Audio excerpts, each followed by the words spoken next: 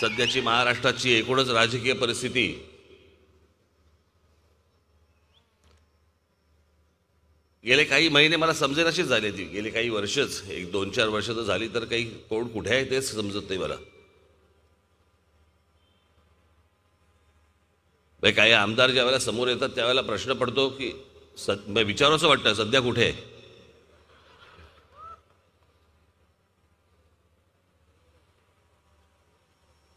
आणि दुसरीकडे तो राजीनाम्याचा गोंधळ सुरू होता तो काल संपला.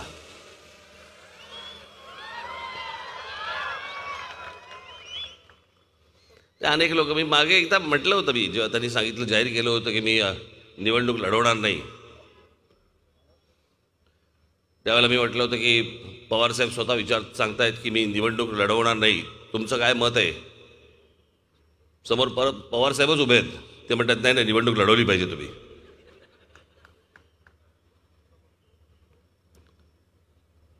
मला असं वाटतं खरंच त्यांना राजीनामा द्यायचा होता.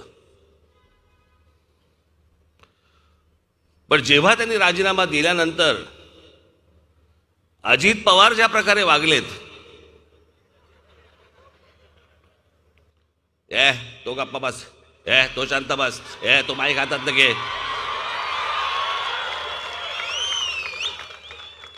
ते सगळं पवार साहेबांच्या डोळ्यात देखत होत असताना पवार साहेबांच्या मनात आलं असणार अरे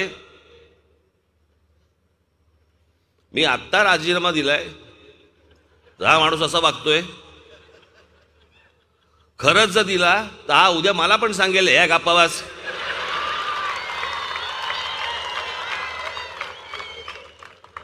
मला असं वाटतं त्या भीतीपोटी त्या भीतीपायी त्यांनी राजीनामा मागे घेतला.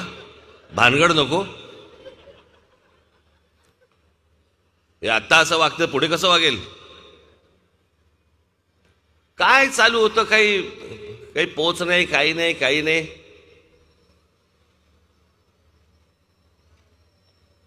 जवळपास आतून उकळ्या फुटत होत्या. की होतंय ते बरं होतंय.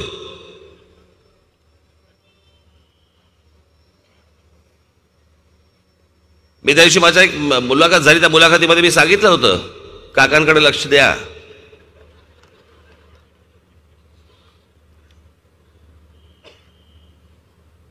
ते कधी कोणती गोष्ट करतील काय सांगता येत नाही. असो तो त्यांच्या त्यांच्या पक्षातला विषय आपल्याला काय देणं घेणं त्याच्याशी?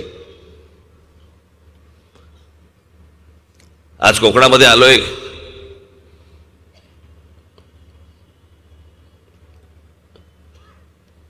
अनेक प्रश्न प्रलंबित आहेत.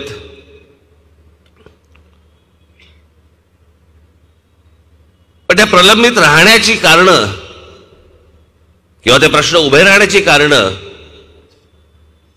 हे तुम्ही आहात.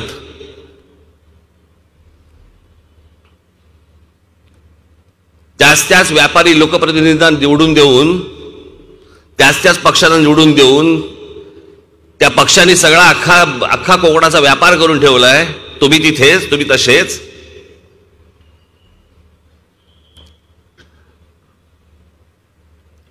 आणि तीस तीस माणसं निवडून येत आहेत राज्य सरकारमध्ये त्यांनाही काही किंमत नाही.